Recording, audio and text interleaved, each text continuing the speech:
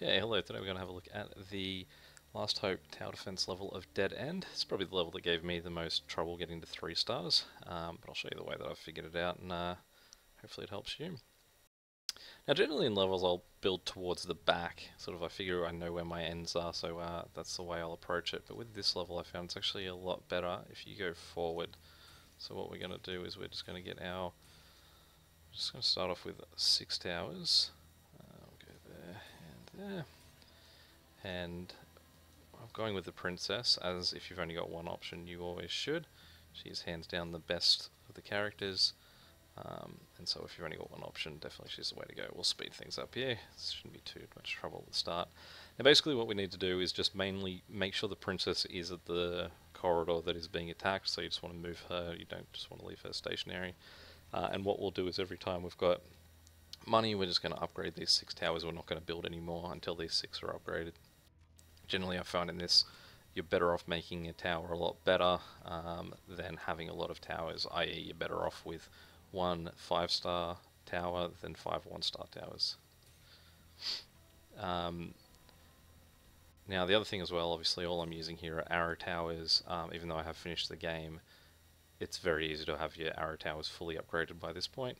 So um, I'm not playing in a way that would be unrealistic for the way um, that you would be able to play this if you did come across the level uh, just on your first round through.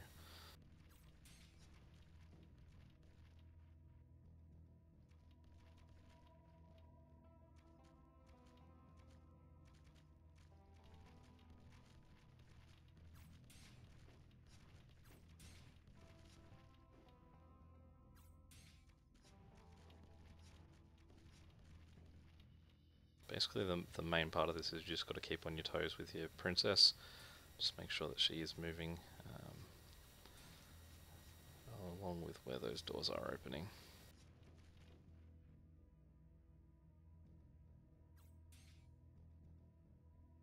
These big green guys are probably the, the biggest issue you'll have.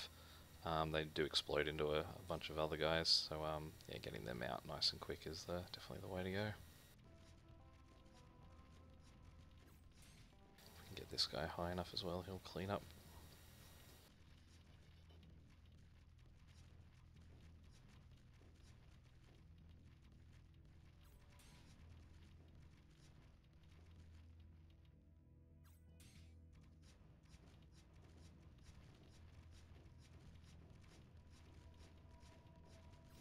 Okay, so that's our six towers all upgraded now, so what we'll do is we'll just add a few more. Uh, Oops, wrong one. We'll just sell guy. Luckily it doesn't cost you too much if you do make that sort of mistake. Um, so we will just add one more in each of the three corridors. Move Princess back over.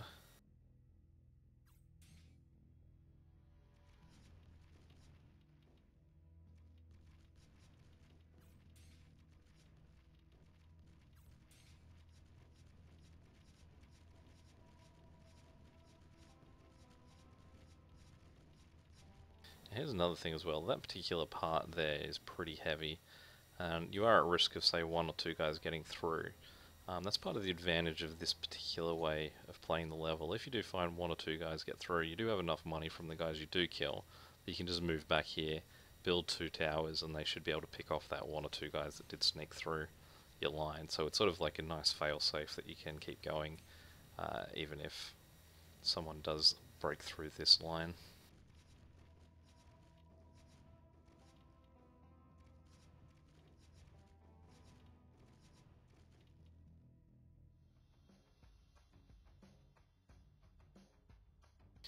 Big layer like this really shouldn't cause us too much grief at this point. Boom, there he goes.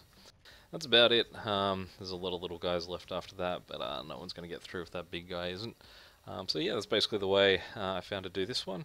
Uh, any questions or comments, feel free to chuck them below. Uh, also, if there's any other levels that you're having issues with that I haven't made a video for, feel free to mention that, and I'll um, yeah do what I can.